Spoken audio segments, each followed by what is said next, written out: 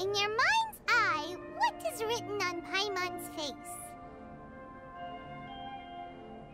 Huh? Is that how Paimon really looks to you? Uh, okay, forget it. We can come back to that. Let's move on to the body.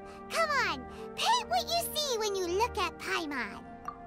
Uh, Paimon's starting to feel like this is not going to turn out so great. Let me see. Let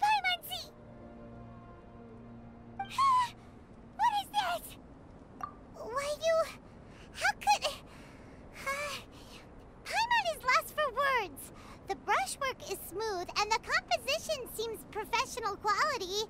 You had no problems there.